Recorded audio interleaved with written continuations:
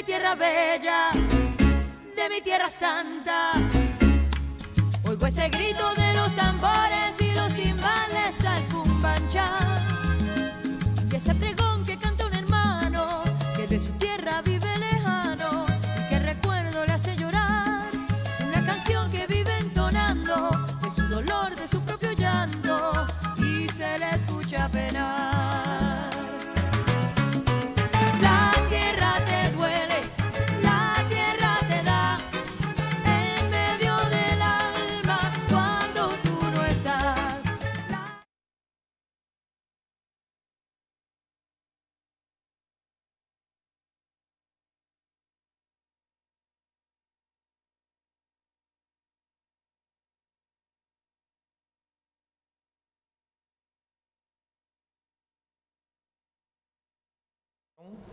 Soy de, Cuba, la provincia de Santi Espíritu, centro del país.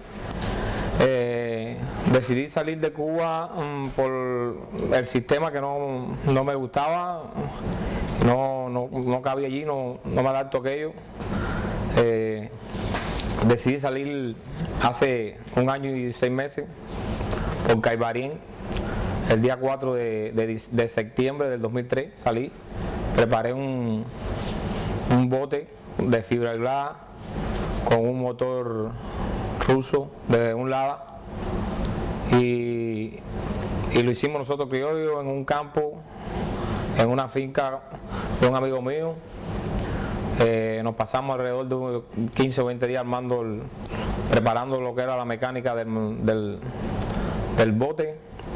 Nos pasamos cuatro días y medio de travesía, ya que a veces el motor se detupía, la, la- carburación, la gasolina y, y nos medio que nos perdimos un mal tiempo que hubo. Bueno, que cuando salimos el día 4 de diciembre, eh, de septiembre del 2003, eh, veníamos con bastante abastecimiento entre agua, comida, pero pensábamos que era iba a ser dos días y medio nada más la travesía. Y entonces nos complicamos, bueno, como le dije, un mal tiempo nos, medio que nos perdimos. Y el día, al tercer día, ya nos empezamos a poner nerviosos, ya nos empezó a escasear el agua porque los primeros días desperdiciamos mucha agua. Como no pensábamos que no iban a pasar tanto, tomábamos mucha agua por gusto. Y la comida sí, comida traíamos, nos dio bien la comida. Y un día hicimos tierra en un ca- callo diente perro, no sé cómo es que le dicen al callo, no me acuerdo.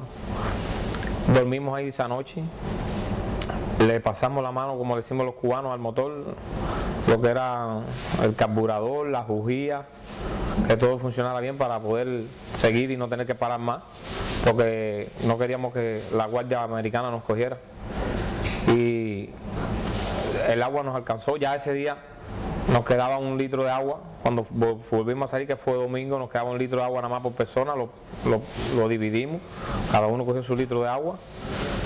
Y ya sin dormir hasta aquí, hasta sin dormir y sin, sin comer más nada, ya y sí se nos acabó la comida, se nos acabó el agua, hasta el lunes por la mañana que llegamos aquí a, a Miami Beach. Bien dura la travesía, eh, no pensé que fuera tan, tan mala, yo soy una gente bastante fuerte y, vi alucinaciones, parece que del mismo cansancio, del mismo sueño, veía cosas que, que era absurdo verlo en el mar, porque cosas de la tierra que yo las veía en el mar y me parecía que era realidad.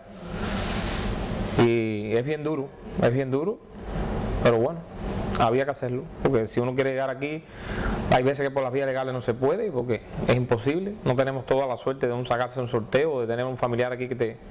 Yo no tengo a nadie en este país, yo tenía que ganármela como yo pudiera. Y así fue la vida. Cuatro días y medio pasando hambre, sueño. Hambre no, porque comía cuando tenía ganas, comíamos, teníamos la comida, pero como quiera que sea, el estado de ánimo no te dan ganas ni de, imagínate. Y se va debilitando uno, se va. Yo no me mareé en ningún momento, pero los demás, muchos sí, vomitaron demasiado. ¿Para qué?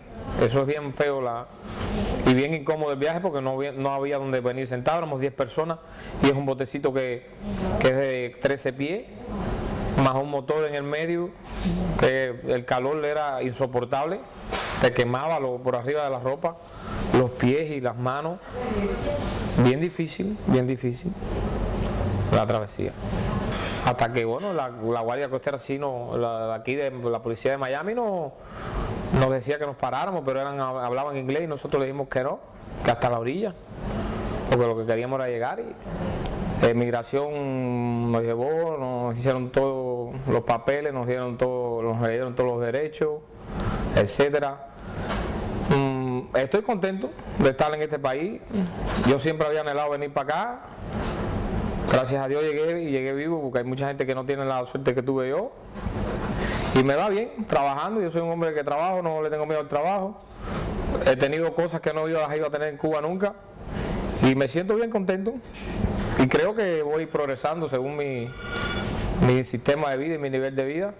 Yo dejé en Cuba a toda mi familia, mi madre, mi padre, mis abuelos, mis hermanos, mis hijos y mi mujer, que tenía un niño de 6 años. Y mi mujer y, la dejé en estado. La dejé en estado y bueno, gracias a Dios ya vinieron para acá, los pude traer. No tuvieron tuvieron mucho más suerte que yo. Llevo año y medio ya aquí y, hace una semana que ellos vinieron. Le doy gracias a Dios de, de haberme realizado varios de mis sueños ya en tan poco tiempo, en año y medio.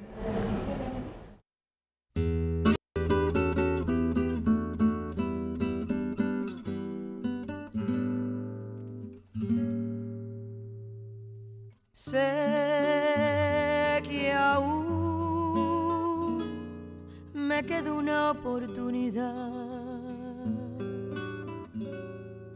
Sé que aún no es tarde para recapacitar. Sé que nuestro amor es verdadero los años que me quedan por vivir, demostraré cuánto te quiero.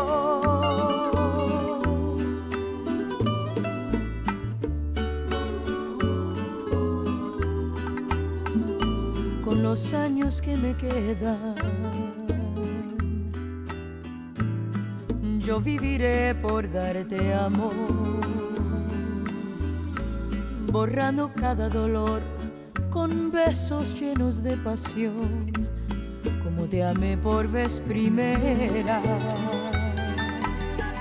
Con los años que me quedan, te haré olvidar cualquier error. No quise herirte, mi amor Sabes que eres mi adoración lo serás mi vida entera.